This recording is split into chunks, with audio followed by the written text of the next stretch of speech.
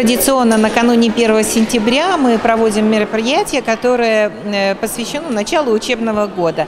Э, мы проводим это мероприятие для отдельных категорий э, детишек. Это, как правило, дети из многодетных семей, дети, где родители инвалиды и воспитывают детей инвалидов, ну, неполные семьи, малообеспеченные семьи в том числе. В этом году акция проводилась на протяжении августа месяца в крупных универмагах нашей столицы.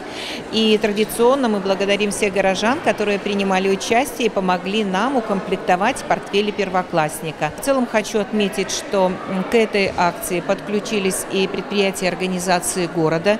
Традиционно Минский городской исполнительный комитет производит выплаты единовременной материальной помощи детишкам из многодетных семей, детишкам, которые э, являются учащимися учреждения образования столицы.